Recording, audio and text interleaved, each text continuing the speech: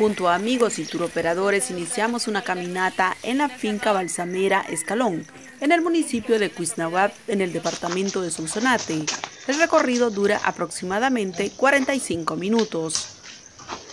Qué rico caminar con este clima acá en Sonsonate, haciendo turismo, pero sobre todo respirando aire puro.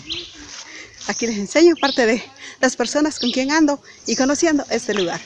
La finca Escalón es reconocida por el cultivo de árboles de bálsamo y por su frondosa vegetación, donde se puede hacer senderismo.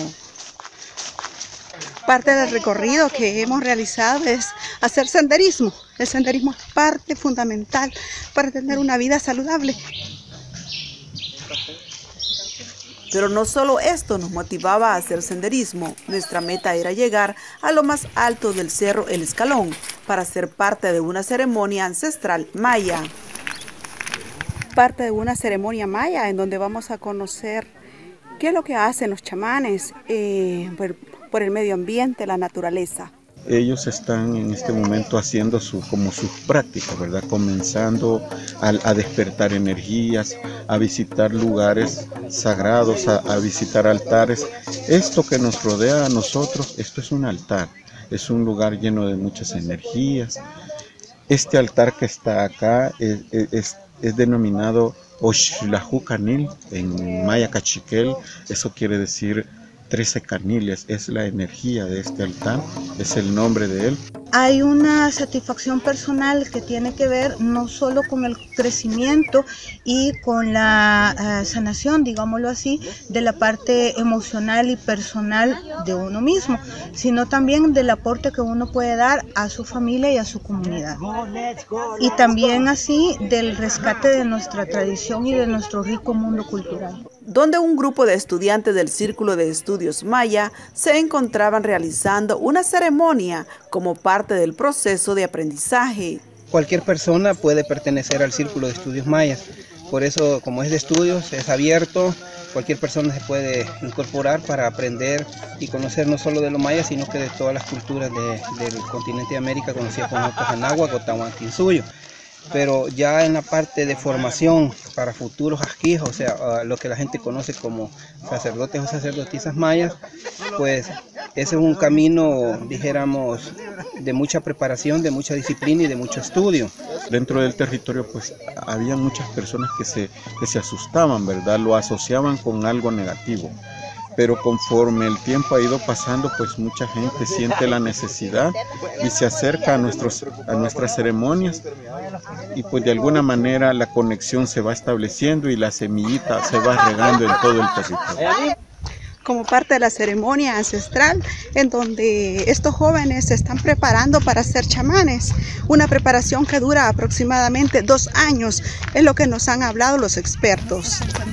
Acompañando a nuestros aspirantes en su ceremonia de preparación, en su ceremonia en el cual ellos están pidiendo a los ancestros, a las abuelas y a los abuelos, al gran Ajao, creador y formador del universo, para que les acompañe, para que les dé discernimiento, que les llegue conocimiento, que les dé sabiduría, a expander este conocimiento, a expander la cosmovisión de nuestros ancestros en este gran territorio de Anahuac. Ya llegamos a una formación un poco más práctica donde estamos poniendo ya todo eso en la realidad dentro de las ceremonias que se están oficiando como grupo de aprendices.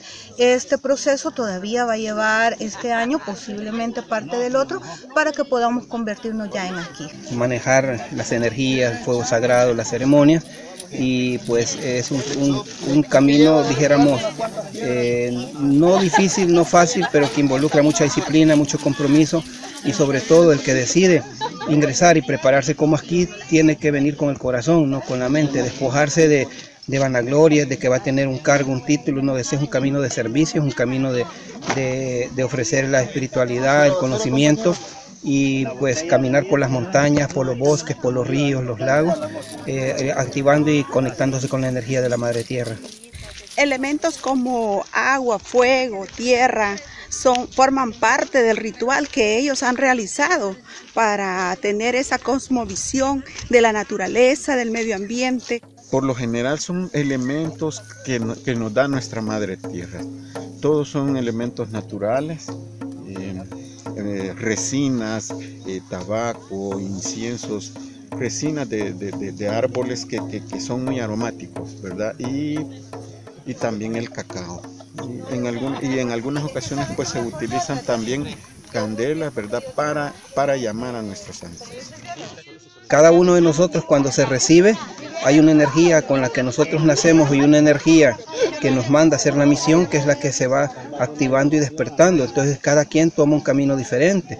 Unos son buenos para para la medicina, otros para las matemáticas, otros para el ceremonial, otros para conectarse, pero esa es ya la energía de cada quien, pero todo el conocimiento y todo el aprendizaje eh, lo ponemos al servicio de la humanidad y ayudar a, los demás a encontrarse ellos mismos. Aunque cada uno de los que conforma el grupo de aprendices AG ha tenido muchos más años eh, de recorrido en cuanto a su contacto con eh, el conocimiento ancestral y también las ceremonias ancestrales, de una u otra forma, ¿verdad? Porque las formas culturales son variadas en toda la región de América.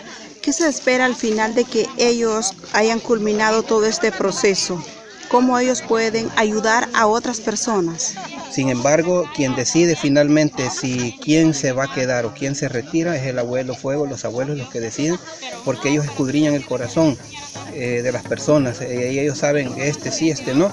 Y lo que se espera en su momento de recibimiento es que pues, eh, sean dignos representantes de la tradición y la cosmovisión maya, que están para servir a la humanidad en todo lo que la humanidad y este alcance el conocimiento de cada uno.